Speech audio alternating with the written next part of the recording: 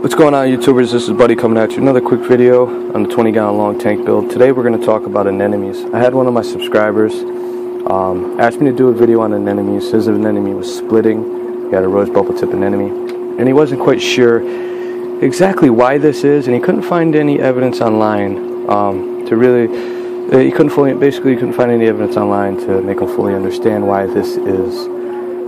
Excuse me. So today we're basically going to talk about just rose bubble tip anemones because there is so many different type of species of anemones out there. Um, I just think it would be best to stick to basically just one kind. So I'm going to give you a quick overhead shot of my anemone and stuff like that while I'm doing some talking here. So here's my uh, anemone. It's a sebae anemone. Beautiful green sebae anemone with purple tips. Alright, so in this video here, basically we're just going to talk about them, give you a little feedback on why they bubble, why they don't, why they split, things like that propagation. So the first thing we're going to talk about is why do they split. So let's uh, let's get a little feedback on everything basically here. Uh, so first thing is um, we have anemones that do sexual reproduction and anemones that do asexual reproduction. Now, sexual reproduction is where um, you have a male and female anemone. There there are male and females. Basically, where they split uh, they release eggs into the water, and this is done uh, generally by the moonlight. It's uh, they follow the lunar phase, and that is what uh, causes the them to know when to when it's time to release their eggs, which is pretty cool. So they release their eggs into the water. The other one releases the sperm, and they find themselves in the water column or come across themselves. Uh, the sperm fertilizes the egg. The egg turns into larva, sinks to the bottom of the ocean or aquarium or whatever, and turns and grows into a full anemone, a uh, large species or full anemone here. And then we have asexual reproduction. Now, asexual reproduction is where the anemone splits. One more thing, let me add this to the to this video too. Now, sexual reproduction um, was uh, wasn't anything that was ever done in captivity. Actually, the first time it was ever successfully done in captivity was in uh, uh, at National Marine Science Central uh, Center at Coffs Harbor. Uh, that was done in 2005. That was the first time that uh, there was successfully sexual reproduction done, as far as I know, was at National Marine Science Center at Coffs Harbor in 2005. So that was just, I just wanted to throw that information there, give you guys a little, little extra information there. So back to asexual reproduction. Now, there are only two species of anemones that actually split out of the 10 different species of anemones that host anemone fish, which are clownfish. So there's only two of these species that uh, do the asexual reproduction, and rose bubble tip anemones are one of them. So what is asexual reproduction? Well, asexual reproduction is known as uh, fission or budding. budding, where they actually split, rip themselves into two. They actually split themselves in half.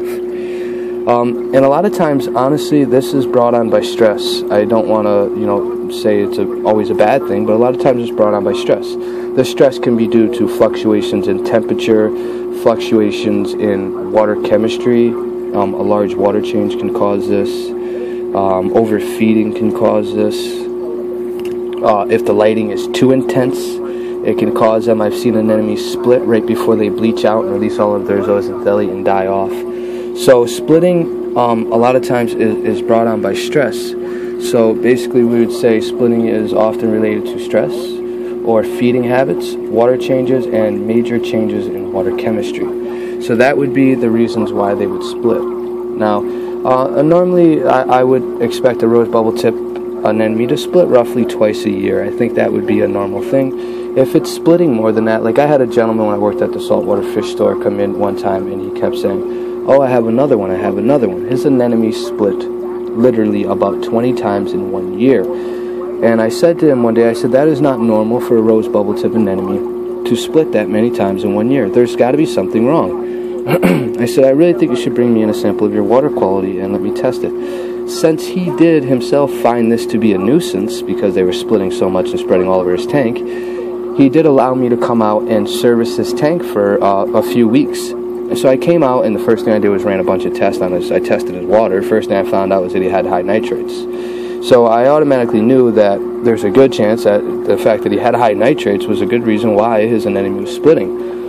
Um, really fast, anemones are kind of like SPS corals in a way, especially rose bubble tip anemones. They like um, uh, strong lighting and uh, obviously good flow. It makes you have a full spectrum. I feel like all corals should should utilize a full spectrum. I don't honestly feel that just white and blue lights are a full spectrum. I've seen corals do just fine and look very good under uh, and grow very well and look very beautiful under just blue and white lights. Me personally, I really think we should implement the greens, the reds, the UVs, all them in there to really give us a full spectrum. So, uh, really quick, SPS coral or um, uh, rose bubble tip anemones are similar to uh, SPS corals. They like good lighting, good flow, uh, calcium around 400 to 450, alkalinity uh, between uh, 7 to 11, uh, magnesium between that 12, 60 to 13 50 range, pH between 8.1 to 8.3. So basically, we want to try to stay as close to the natural seawater as possible, really, for good health. Uh, so obviously, good you know good lighting, strong flow, and obviously keeping calcium alkalinity in check will also help keep uh, help keep pH stable too and uh, those are really want to keep and you want to keep uh, uh, obviously ammonia and nitrates at zero obviously nit or nitrites ammonia and nitrites at zero nitrates you'd want to keep at uh, I'd say I don't know uh, as close to zero as possible you know two point two point uh, two point seven to zero you know, um, nit- phosphates uh, 0.02 or lower. Um, nitrates obviously closer to zero, the better. So basically, that's kind of where you want to keep them. You know, uh, your levels. So any fluctuations in, in, in, water chemistry, basically, if your nitrates are high, could induce splitting because that's going to stress out the anemone. So basically, I checked over his lighting, I checked his flow, I checked um, his calcium, his alkalinity, his magnesium, his nitrates, his phosphates. Uh, I checked his feeding habits, you know, and, and things like that, his water change schedule, to see if he was doing large water changes at one time. Uh, that's another thing. If you're if you're the type of person that does monthly uh, ch- water changes, and so every month you're doing a large, maybe 40% or 30% water change once a month, that's going to dramatically change water chemistry and could induce stress on the anemone, induce and cause them to split. He was doing large water changes monthly and uh, that was another reason why it was splitting. Not only did he have high nitrates, every month his water chemistry would be off because he would do that large water change. So that would induce splitting. So splitting a lot of times is brought on by stress, uh, overfeeding, and things like that. So it's not always a good thing, guys. So just keep that in mind. Um, and another thing I want to talk about is why do some rose bubble tip anemones have bubbled tips and some don't? Even though um, you might buy a rose bubble tip anemone that doesn't have bubbled tips, and you may buy one that has bubbled tips, and you bring it home, and within a couple weeks it loses its bubble tips. Why is this? And you may buy a rose bubble tip and anything that doesn't have bubble tips, and then all of a sudden it grows its bubble tips back. Now, why is this? You know, it's really, really all theory on why this really is. There's really no strong evidence on why this is.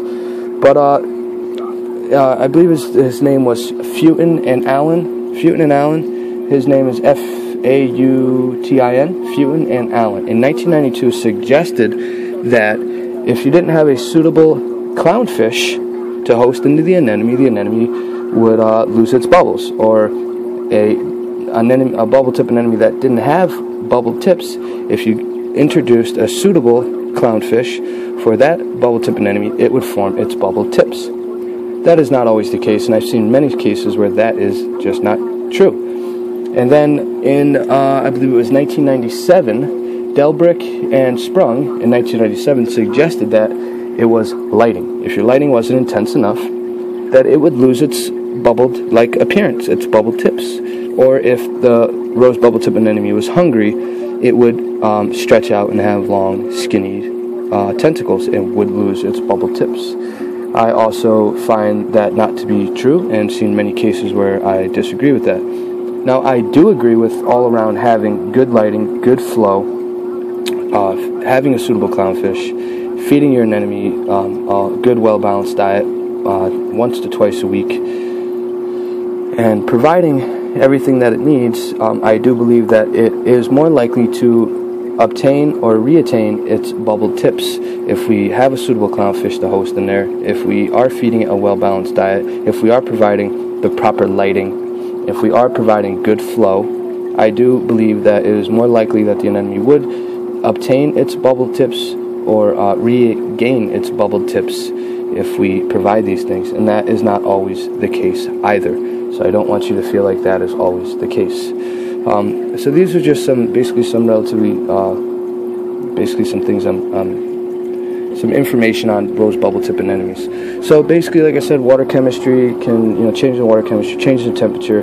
Um, if the lighting's too intense, uh, overfeeding, um, any type of stress can cause, can induce them to split, and that is called asexual reproduction.